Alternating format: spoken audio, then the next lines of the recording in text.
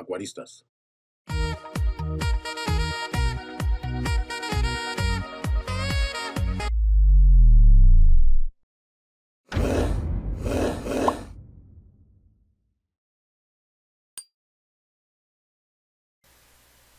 Hola compañeros del canal, bueno pues este es el resumen del mes de abril de mis acuarios, aunque bueno ya me había ganado un poquito la fecha porque ya estamos a mayo, pero te los quiero enseñar. Hay tres cosas que he estado haciendo en, tanto en los acuarios como en el estanque y es de lo que quiero platicar contigo. Este es el acuario de 200 litros, básicamente está igual, mismos peces, mismas plantas, no hemos podido comprar pues nada nuevo por esto de la contingencia. Pero hay algo que le está pasando aquí a una de mis plantas y es lo que quiero compartir contigo. Pero mira, nuestro culi por aquí anda. Pocas veces lo veo. No tengo la fortuna de estarlo viendo todo, todo el tiempo. Pero miren, ahorita que estoy grabando, aquí está escondido. Aquí anda, aquí anda el culi. Igual le quiero comprar más compañeros, pero pues no, no he podido salir. Ya más adelante ya los compraremos para que sea, eh, pues al estar en grupo es más fácil que los puedas ver y casi siempre por donde andan las corridoras, por aquí anda también el culi. Bueno, pues ya, ya no quiere salir. Ahora sí les comento lo que ha estado pasando aquí en el acuario. Miren, aquí las sagitarias, ahí van. Ahí podemos ir viendo cómo poco a poco se van apropiando de todo el acuario. Ahí van creciendo, de hecho ahí podemos notar las guías. Para los que no sabían, bueno, así es como esta planta se va reproduciendo. Sale una guía y de ahí sale otra planta y luego de ahí otra guía y otra planta así que hay que andarlas podando y bueno pues ya están por todo el acuario y miren esto que se ven allá atrás es la elodea o lo que quedan de las elodeas. He estado utilizando el glutaraldehído en el acuario. A muchas plantas le ha beneficiado pero a la elodea sí le ha pegado bastante. Entonces lejos de verse mejor esa planta cada día está peor. Ya ahorita ya no estoy aplicando lo que es el glutaraldehído. Mi problema creo que fue que estoy poniendo más dosis. Estoy poniendo la dosis como si fuera eh, como si fuera para el antialgas y no como si fuera para CO2 entonces yo creo que eso fue el asunto.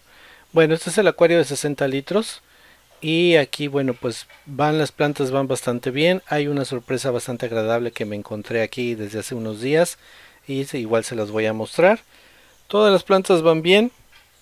Hay por ahí algunas hojas lastimadas y todo pero bueno yo lo considero como que algo normal. Ahí podemos apreciar los colores de esta Ocelot.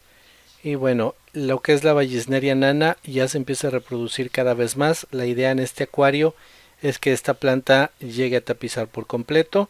Al igual que la Sagitaria también se va reproduciendo mediante una guía que ahí podemos ver. Entonces, bueno, ahí van las plantas poco a poco. Una vez que se afianza esta planta y se empieza a reproducir, el acuario se empieza a llenar. Así son las, las Sagitarias o las Vallisnerias. Y aquí, bueno, pues tenemos lo que son higrófilas. Este, hay, tres variedades de higrófilas que ya se las he comentado en otros videos. Bueno, pues también ahí van las plantas. Y ahora la sorpresa que me llevé es, miren, esta vara que va saliendo de aquí, de esta Green Ocelot. Y pues ya llegó hasta la parte de arriba del acuario.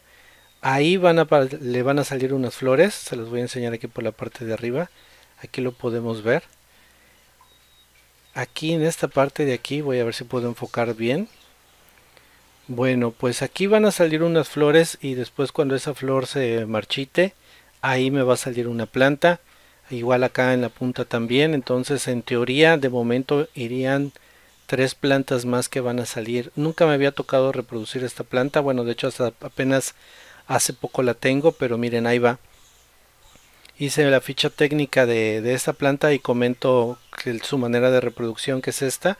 Y bueno pues parece que sí lo vamos a lograr y como puedes observar pues yo no tengo iluminación profesional son focos led a los cuales les corto el bulbo que trae de color blanco y pues así es como ocupo yo la iluminación. Pero mira ahí va. Parece bueno se ve extraño no cómo va creciendo esa vara y bueno pues es la vara de reproducción como les llaman. Así que bueno, pues ahí va este acuario también, el acuario de 60 litros. Hay algunos guppies por aquí, pero como les he comentado en otros videos, no son los peces definitivos que se van a quedar aquí. Todavía no estoy seguro que voy a meter, pero bueno, de momento aquí están. Ahora les quiero enseñar el estanque, cómo va. Bueno, pues ya es temporada de calor, le pega ya el sol a lo que es el estanque y lo que es la lechuga de agua ya se empieza a ver más grande, van agarrando ya tamaño, son muchas así que en algún momento vamos a tener que deshacernos de algunas, está completamente tapizado lo que es la superficie, hice dos aros que son los que puedes ver ahí para que los peces salgan sin problemas a respirar y también por ahí los voy a alimentar.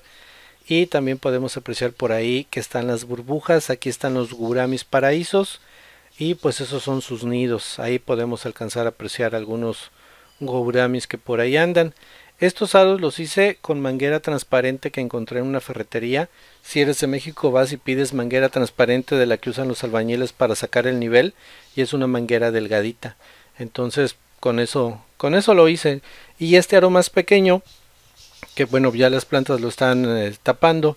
Lo hice con la manguera para las bombas de aire de los acuarios, entonces pues es algo bastante económico, lo puedes hacer en cualquier tipo de acuario y pues si tienes plantas flotantes siempre va a haber un espacio que tú puedas dejar eh, descubierto no de las plantas para que tus peces salgan, respiren y pues de igual manera les puedas dar de comer o si tienes plantas en el, sembradas en el sustrato bueno pues les alcance a dar la iluminación. Aquí les voy a dar de comer a los que son los, los goguramis.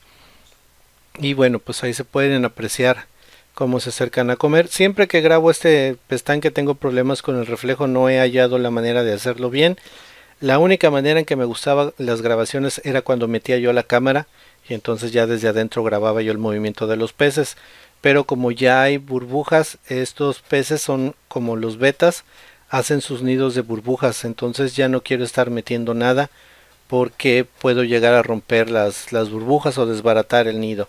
Vamos a ver si se reproducen todos los años.